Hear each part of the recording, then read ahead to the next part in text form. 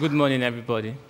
Yeah, what my work seems, what my work seeks to achieve is to find creative means of solving water, sanitation, energy, and education problems in developing countries, especially my country, Nigeria.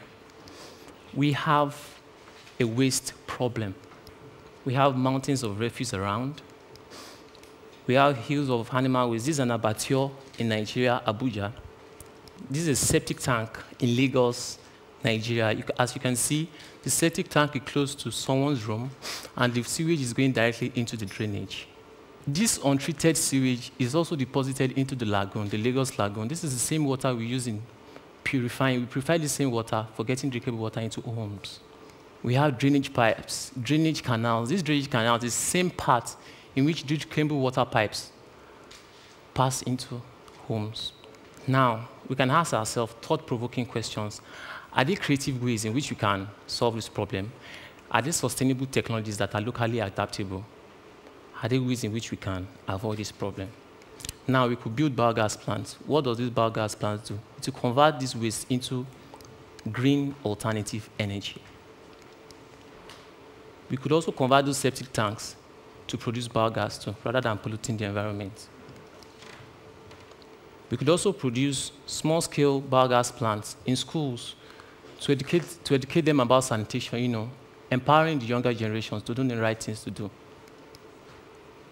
Then we have a biogas. These are students watching the biogas burning.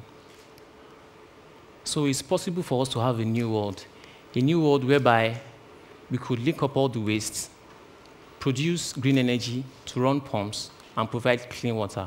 We could have abattoirs that would provide energy to produce electricity and run factories.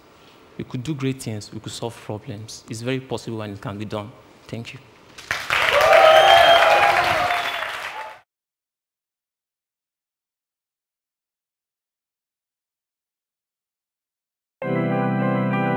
IBM has underwritten the filming of the TED Fellows Talks. Each fellow talks for four minutes about the work that they do or an idea worth spreading.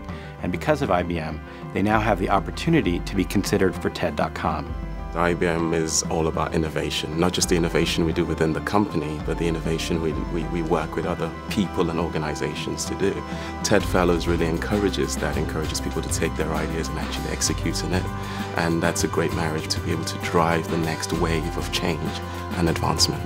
At TED Global, we have a demonstration called Edison, which is about the smart and intelligent generation of energy. The future of how energy would be produced and consumed by sources such as conventional power generation plants, solar energy, renewable sources of energy, wind, and new consumers of energy such as electric cars. Solving the key problems that affect society today require a different way of thinking and a different way of coming up with solutions.